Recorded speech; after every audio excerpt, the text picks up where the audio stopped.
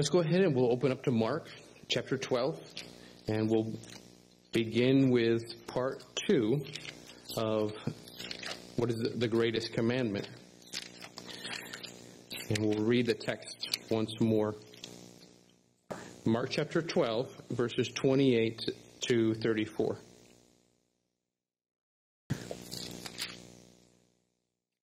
Then one of the scribes came, and having heard them reasoning together, perceiving that he had answered them well, asked him, Which is the first commandment of all? And Jesus answered him, The first of all the commandments is, Hear, O Israel, the Lord our God, the Lord is one. And you shall love the Lord your God with all your heart, and with all your soul, and with all your mind, and with all your strength. This is the first commandment. And the second, like it, is this You shall love your neighbor as yourself. There is no other commandment greater than these.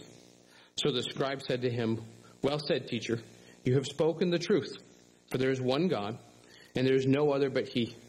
And to love Him with all the heart, and with all the understanding, and with all the soul, and with all the strength, and to love one neighbor as oneself, is more than all the burnt offerings and sacrifices. Then when Jesus saw that he answered wisely, he said to him, You are not far from the kingdom of God. But after that, no one dared question him. So we're again, we're beginning the, to answer the question, what is the greatest commandment?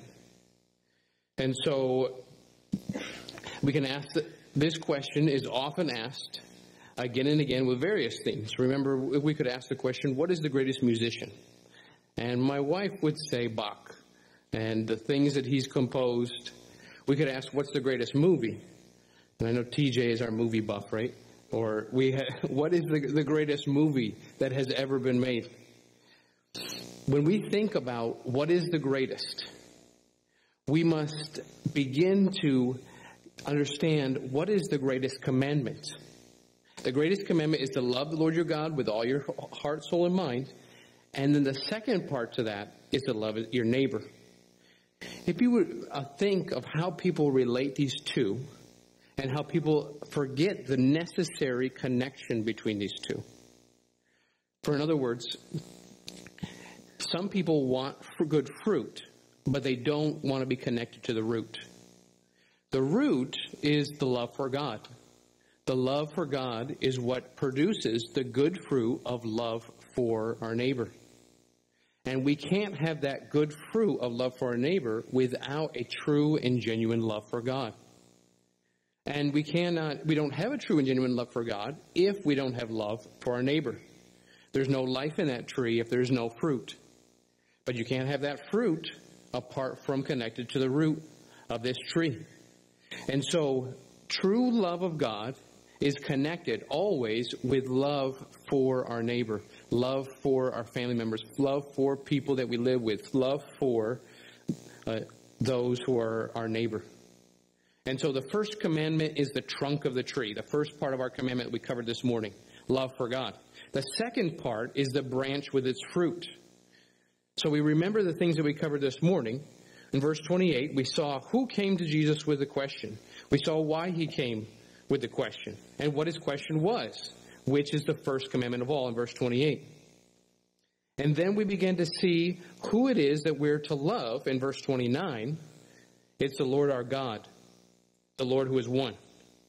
And then we saw what we're to, how we're to relate to him in verse 30. We are to love the Lord our God with all our heart, soul, mind, and strength. This is the first commandment. So now we're picking up in the second part of Jesus' answer in verse 31. And tonight we'll look at verses 31 down to 34. And if you have your outline from this morning, you can follow along and remember that we'll complete the part of the great answer. And then we'll look at the scribe's wise response in verses 32 to 33. And lastly, we'll see in verse 34 how Jesus says, You're not far from the kingdom.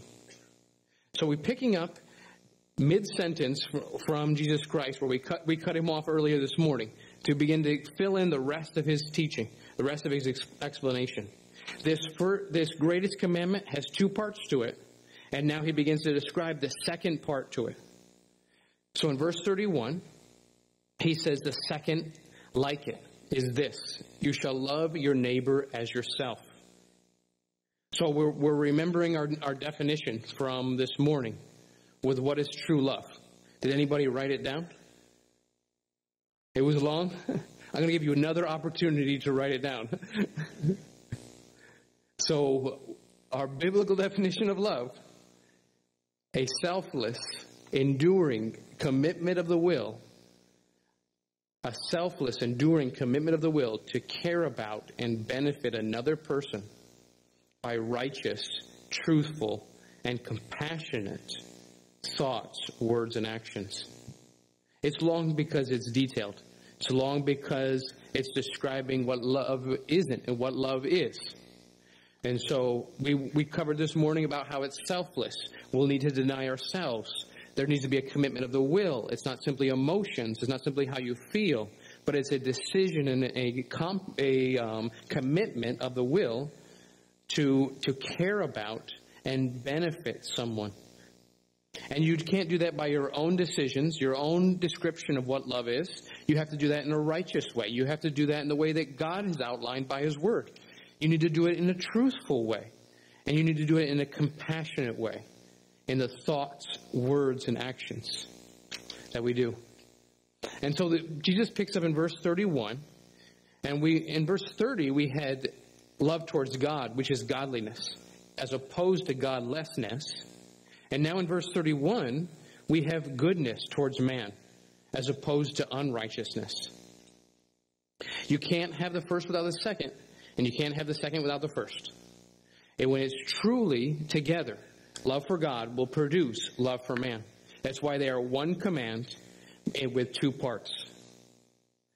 And so you can't start in this way how you feel, you can't start with man and your own thinking about what love is.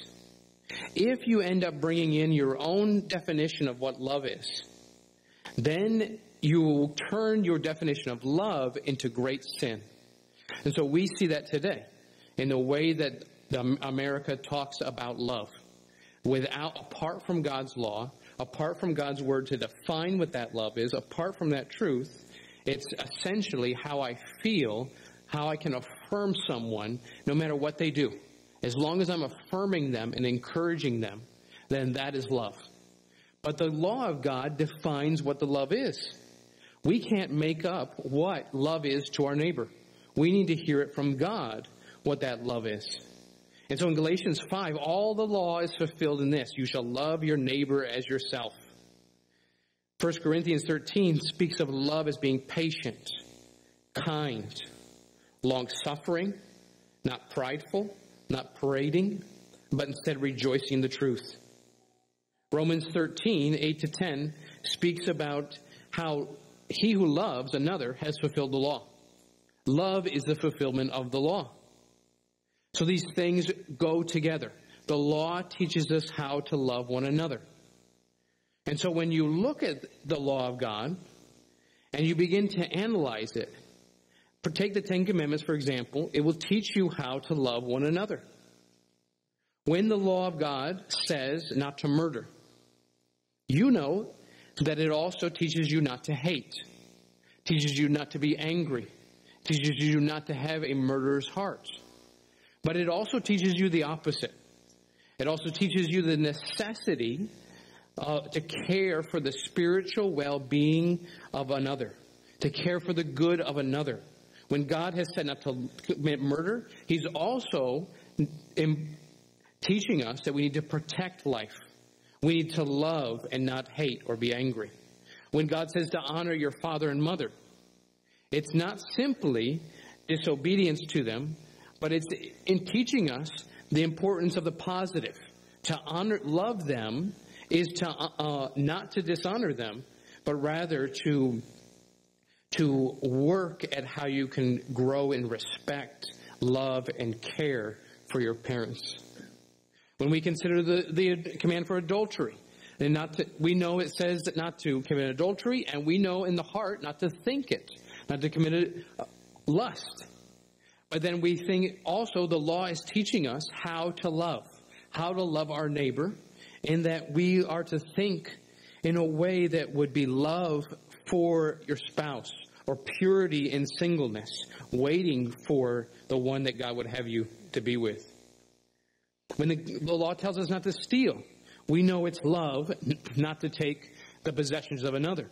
But it's also love to do the opposite, to seek and to provide for others, to care for the poor. That is love. We know that the law tells us not to lie. And so, certainly, protecting the truth is loving to, to one another. But also, we not we're not to slander one another. We're to be very careful with our mouths and how we speak about one another in order to help them and edify them. And so we're learning and we're defined what love is by what the commandments that God has given. That's what it means in Romans 13 when he who loves one another has fulfilled the law. If you really love, then you will look at these things and you will look to fulfill these things with one another. And the love is fulfillment of this law. If you are loving, then you are doing these things. We know that the law says not to covet, not to de- desire what someone else has. But then we need to think of how to be loving by thinking of what others need des- and what their desires are, how to help them beforehand. What's interesting is if you look at Leviticus 19, verses 10 to 18, where it describes some of these things of the moral law, you can begin to see already how in Leviticus these things are described, not only the negative, but also the positive. It was already there in the Old Testament before. And then it's just repeated and expounded and explained all the more how we are to love one another. And so uh, we must remember the, the foolishness that it will lead to. The, uh, if we do not have the law to define what love is, then love it just is becomes our own feelings and emotions and completely contradictory. If I say that that I believe that it, it's it's loving to be a homosexual, and then someone else says it's loving not um, not to abuse someone sexually, or um, if I believe if someone says pedophilia is the next thing that's coming up in America, right? Where they'll say that's the next letter to add to the LGBT, um, and so if that comes in, um, the next letter, see the foolish contradiction between what is defined as love and then protection for children. And needing to, the, you can see the contradiction between opinions and feelings about what love is. We're hopeless and helpless apart from God defining what love is. And so we consider these things that Jesus is commanding us and teaching us. This is the second part. You remember the story of the Good Samaritan? This is the Jesus teaching uh, this very fact. Someone asked, How do I love my neighbor? And so Jesus tells a story. Te- he tells a story full of racial tension, a story full of a, a, uh, a Samaritan who has racial tension with a Jew who ends up helping him out, and the religious people don't. And so Jesus uses this example, this example where it was a dangerous thing to help for that Samaritan to help the Jewish man. It was the Samaritan put himself at risk in order to help him on the side of the road. And so we're learning from this example how love is costly. It will be painful to you to love one another. Sometimes it's dangerous. Sometimes it costs financially. And it's not for just those who are like you or those who think the way you do. This story teaches us how to love one another. Charles Simeon says about uh, this passage that we must do all that we can for another's spiritual good. It's not simply the physical good that was in mind, but to the greatest extent, that with the greatest excellence, with the greatest importance, We need, if we love God, we need to love one another. Look at how Jesus defines it now in verse 31. He puts the qualifier on it to love your neighbor as yourself. Many have picked up this phrase and say, ah, see, you need to love yourself first before you can love one another. But that's a, a twisting of the commandment. It's a twisting of the idea. Self esteem and self love are not taught anywhere in the Bible. You don't need to grow in pride in order to love one another. No, you need to get rid of pride in order to love one another. Pride is the hindrance, the obstacle, the great obstacle to love. Only humble people love. Only humble people love. And so when the psychology abuses this saying, Christian psychology abuses this saying, saying that you need to learn, love yourself, it's, it's, a simple lie. That's, that's like saying, um, that you need to grow in pride and or foolishness in order to love. Your problem is not too little, is not too much self-esteem. The problem that we why we don't love is too we think too highly of ourselves. And when we think too highly of ourselves, then we won't love one another. So, are you willing to what it is teaching then? What is it teaching then? Are you willing to love one another with the same intensity? The same fervency, the same amount that you naturally love yourself. You naturally are planning out what am I going to do after the service? What am I going to do tonight? What am I going to do tomorrow? You're naturally thinking about yourself. I'm hungry. I got to go to the bathroom. I'm thirsty. I'm tired. I'm young. I'm old. I'm whatever. You think you naturally think about yourself. And so Jesus is saying, since you naturally think about yourself, the commandment is the second part of the greatest commandment is to think about others with this same fervency, this same uh, lo- uh, intensity, this same amount. Ask yourself, and all the things that you seek for yourself, do you seek that good for others? Are you willing to do good for yourself only? And so we remember Jesus uniting these two commandments in verse 31. By, and we observe again, like we did this morning. Look in verse 30. This, at the end of verse 30, this is the first commandment, singular. And then the second part of verse 31, there is no other commandment, singular, greater than these, plural. So Jesus has this one commandment with two parts.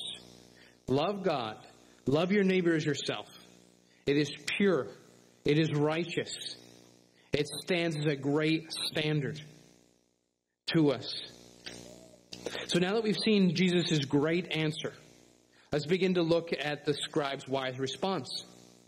This scribe who was originally coming with a plan to test Jesus, meeting with the, the other Pharisees, and now he decides to throw his question to Jesus, and he decides to throw Jesus a fastball right down the middle of the plate, and Jesus knocks it out of the park. Home run. Jesus is rounding the bases. He comes in. Everyone amazed at the, the, the beauty in which Jesus answers, the succinct nature in which he answers.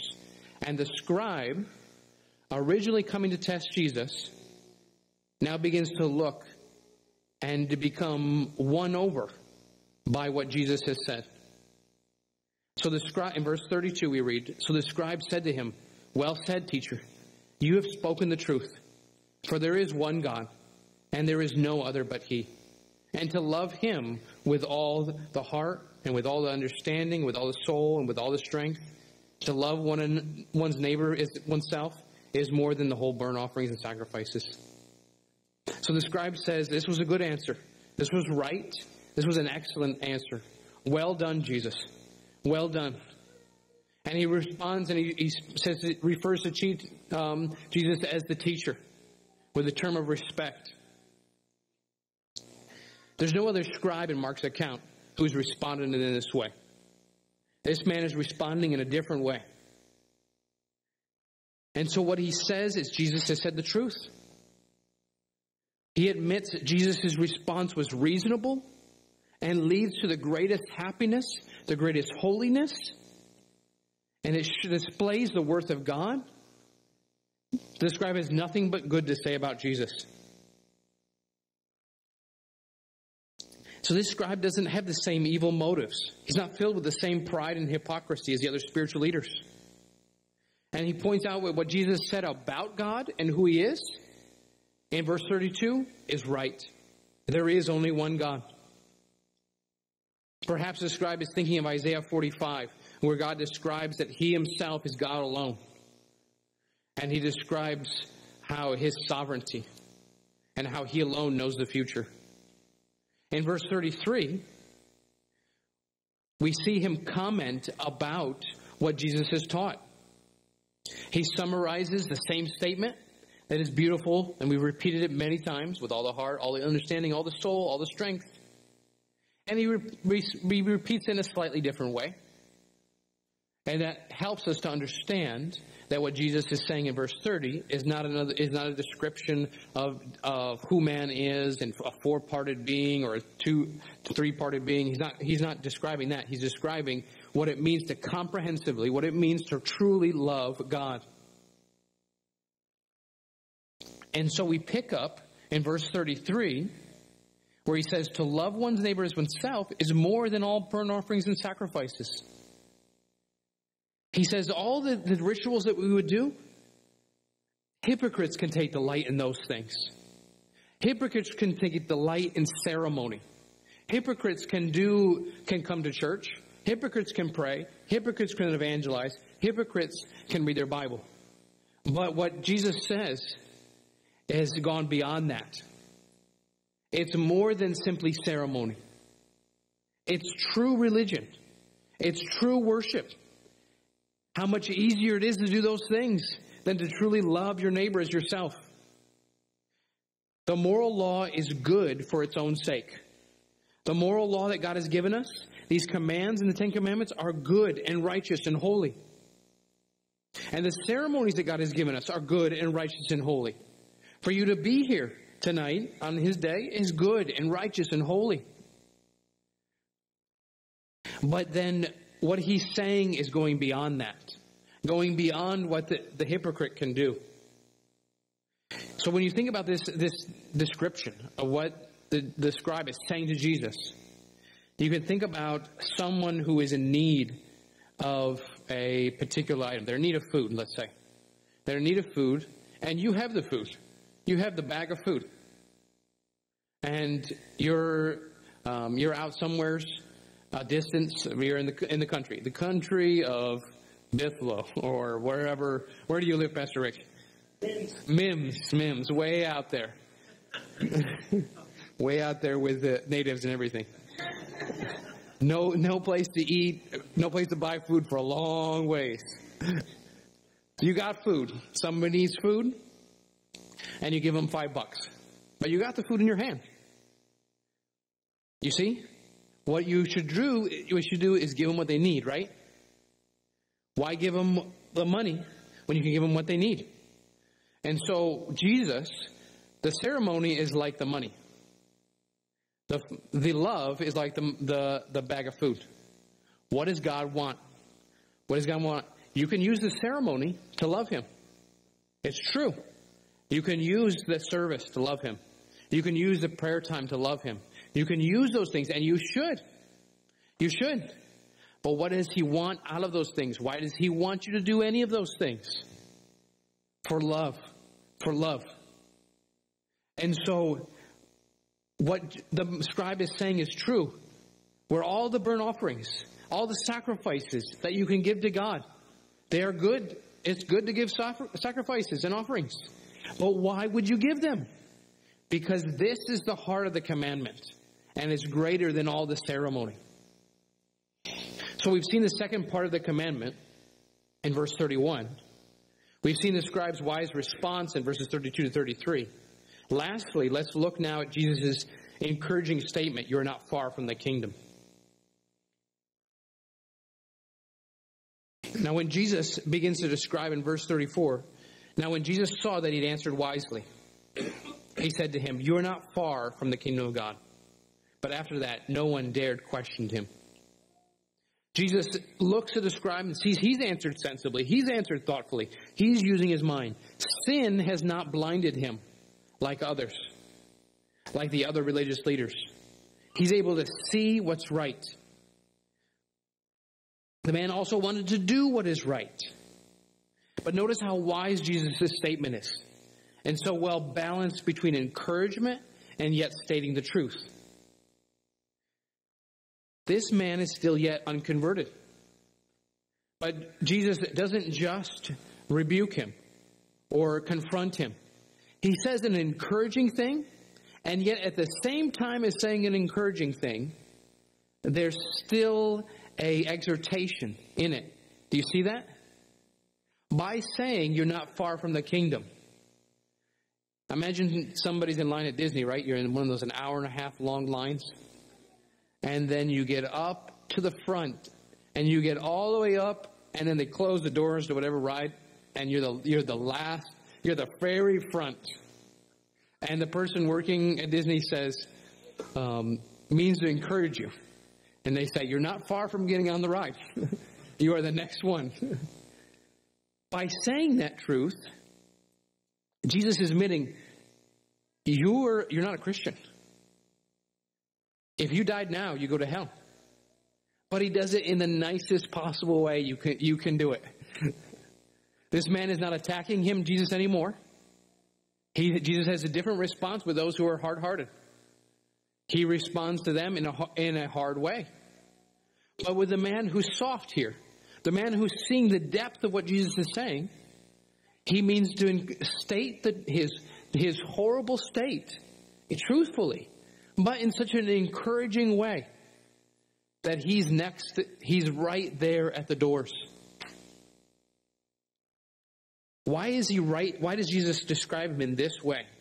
Because to understand these things, these hard truths that are not easy to understand, it's easy to talk about love.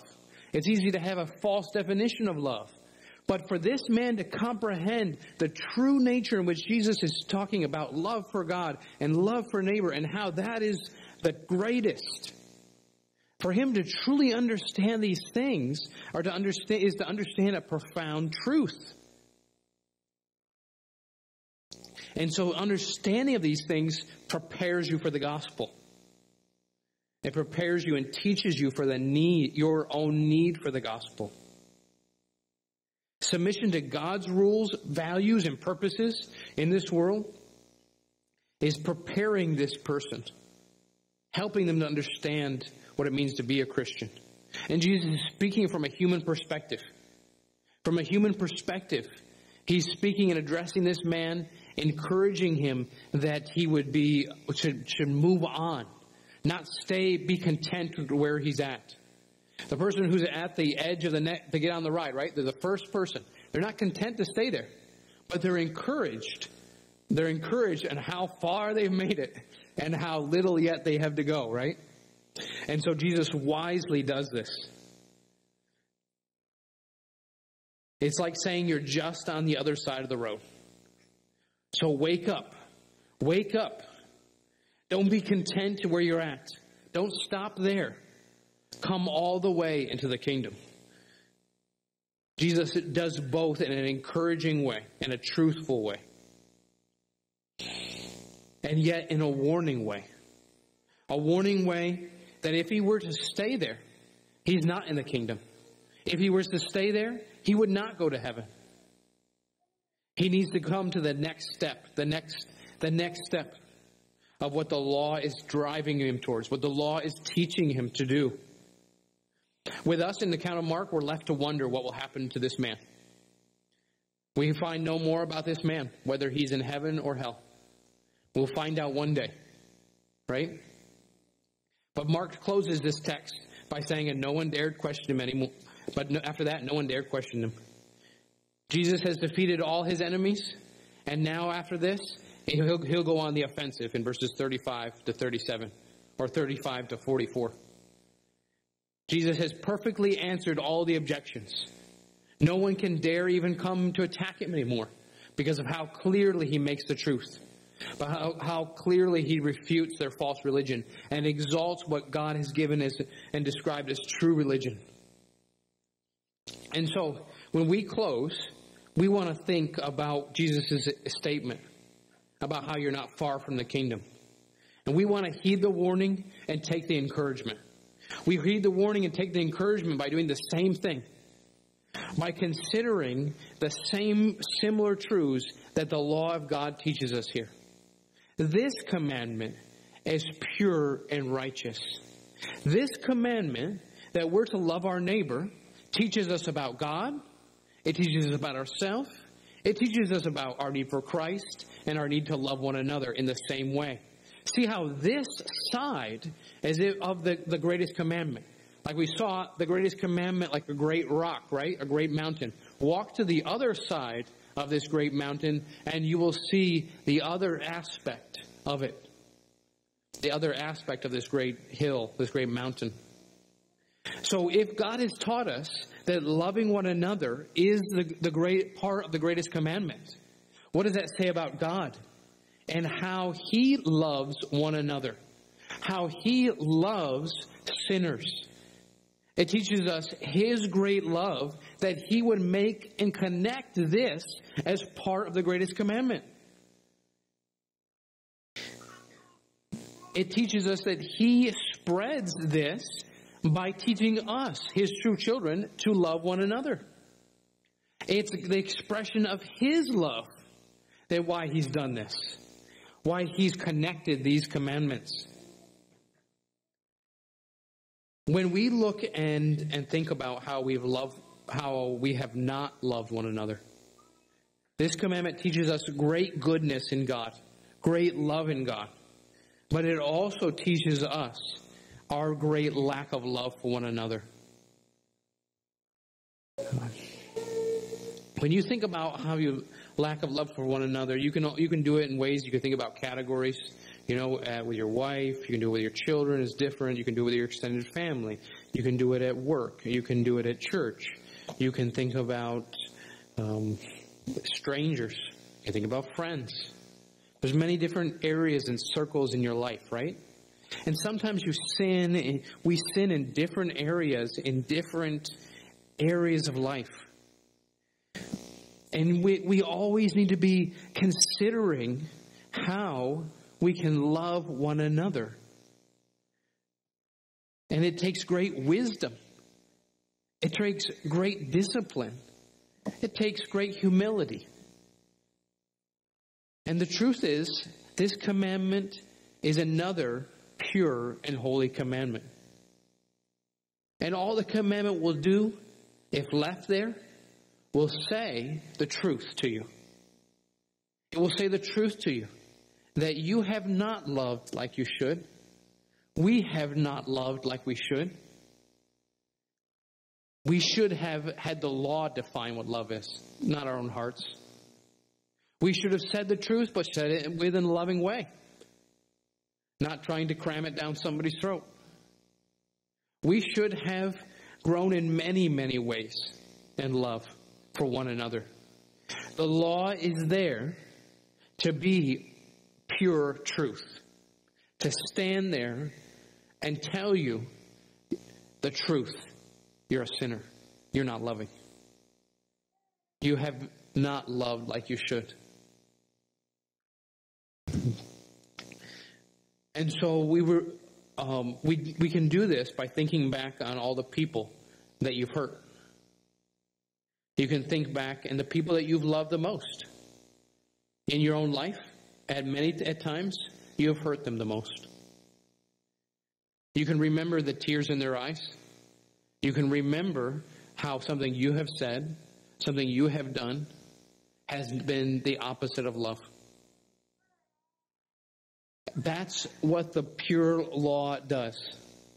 Teaches you God is holy and you are sinful. But what does it do to, how does it drive us to the gospel? Look again at 1 John 4, connecting these same things. 1 John also connects these two parts of the greatest commandment. 1 John 4,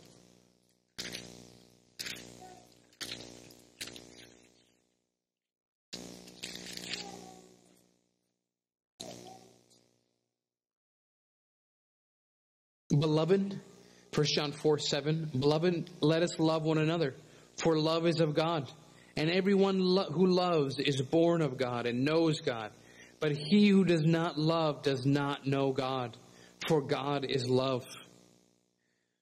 And so we, we see here the call to love one another, and that everyone who has this love, this true love, it's an, the attribute of a Christian.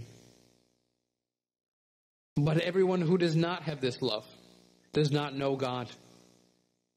And so the law again defines this, this love.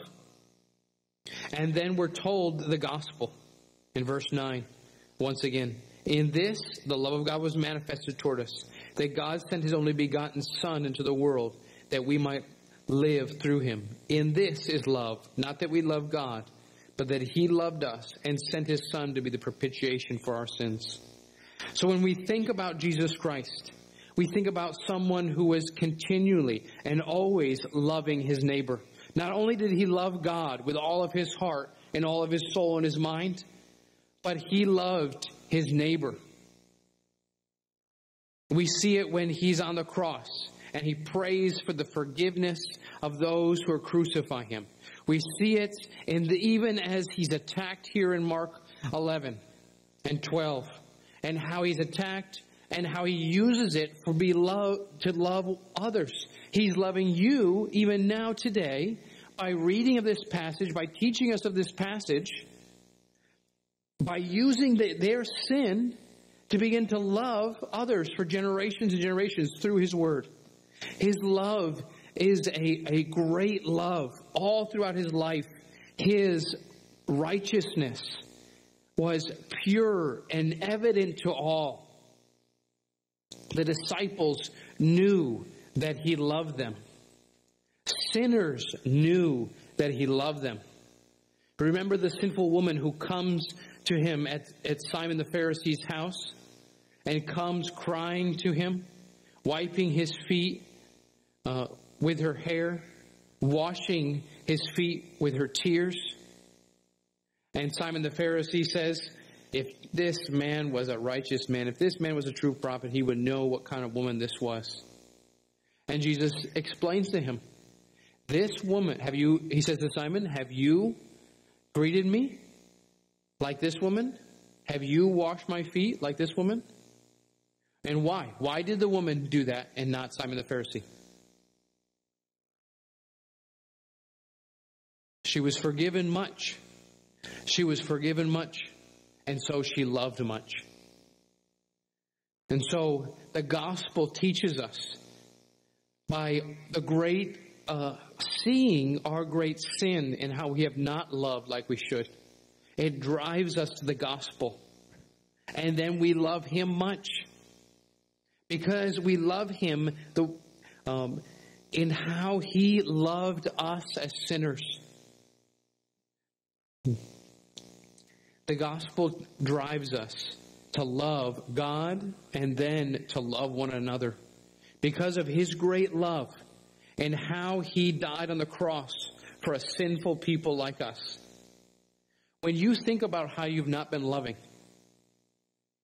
whether it's a family member, a spouse, a child, workplace, stranger, where's who's what's the face that you think of that you where you have been guilty? When you remember that, where do you run to to comfort? If you only run to the way you'll correct it, the way you'll do better, to have a clean conscience, you won't be able to persevere. That's not the way God wants you to fight that and to correct that.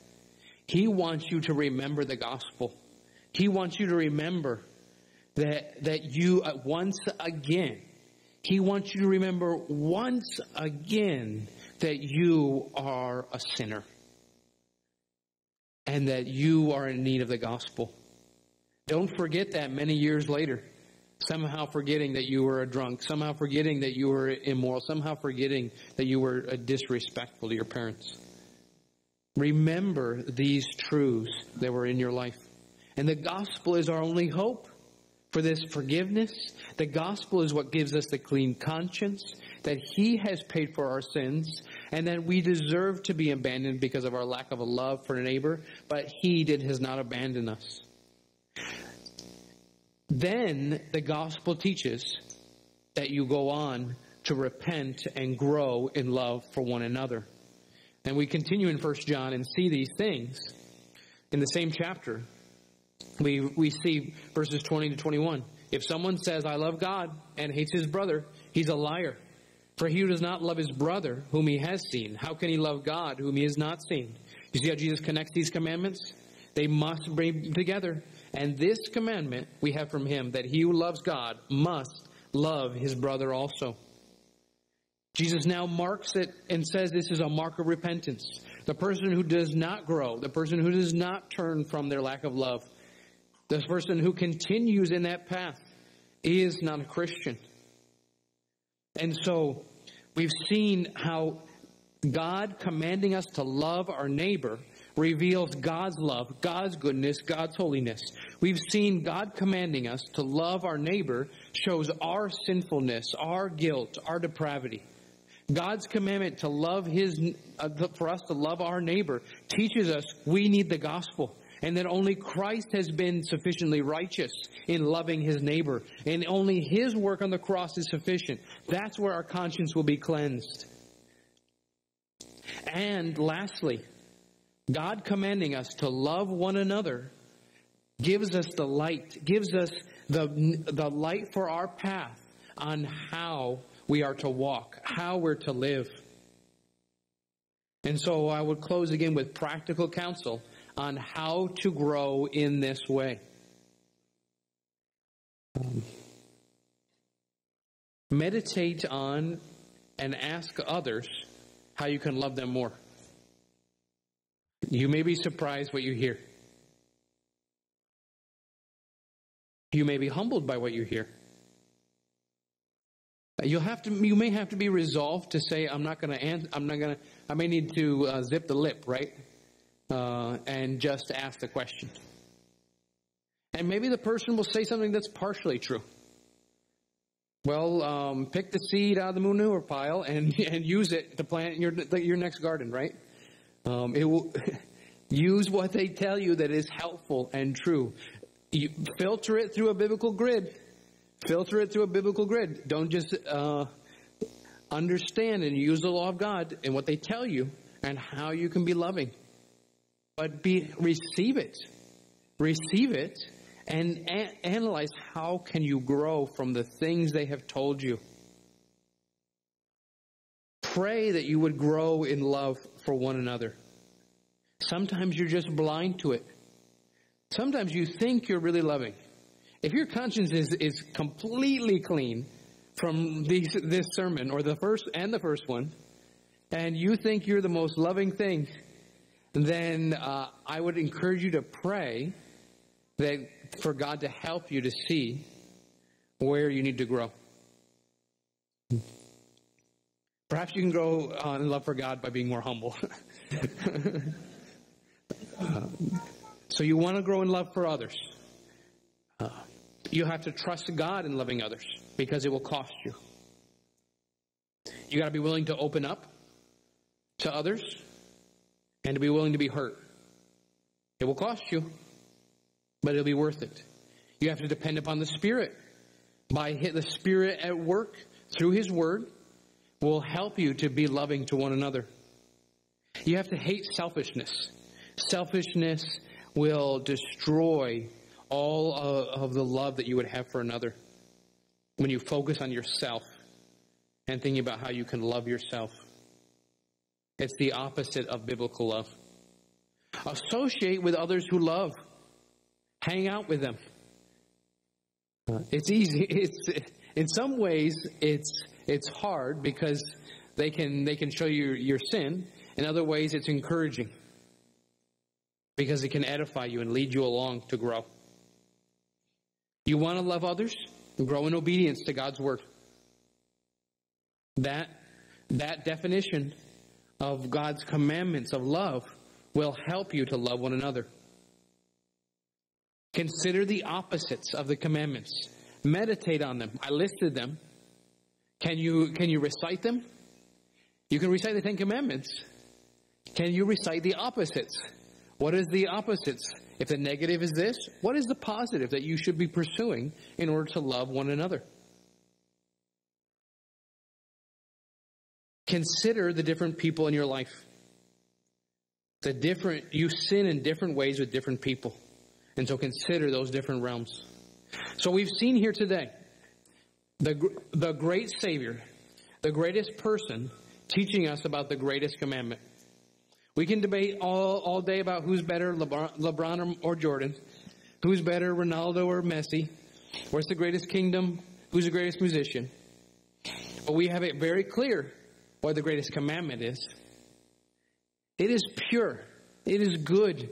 It is holy. It stands there teaching us about the holiness of God. But it also, in the reflection of this, this great commandment, we will see much sin.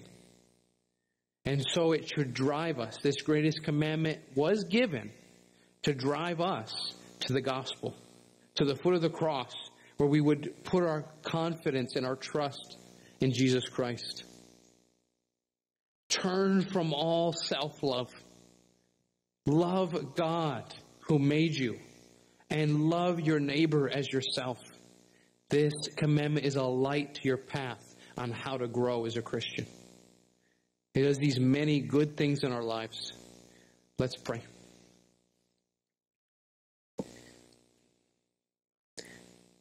Father in heaven, it is easy to talk about commandments. It's much harder to live them. It is easier to preach about them than it is to live them. It's easier to listen to a sermon about them than to live them. So we pray to you now. Lord, we want to grow in love for you. We lay out our lives now before you as a living sacrifice, saying, Please help us to grow in love for you. We know that sometimes it, for you to answer this, this prayer request, it's sometimes hurtful. It's sometimes a trial, sometimes a difficulty, sometimes uh, pain. But we're praying, Lord, we want to love you more. We know that you deserve it. Lord, we want to grow in love for our neighbor. We know it reflects your glory. We know you're worthy of obedience to this command. And we're expressing our inability. We're expressing our need for you. Help us to hate it. Help us to hate a lack of love for others. Help us to be willing to be humble, to be corrected, to love one another. Thank you, Lord, for how the, the commandments teach us about the gospel. Thank you for how they teach us about you, how great you are, how, how we can see your reflection in this law. Thank you for showing us our sin, and thank you for teaching us about the gospel and our need to grow. Help us, Lord, now. Amen.